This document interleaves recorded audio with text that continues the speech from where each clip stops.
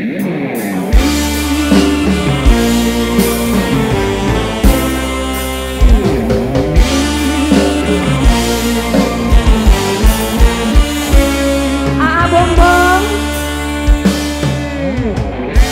punya berkah pada kapas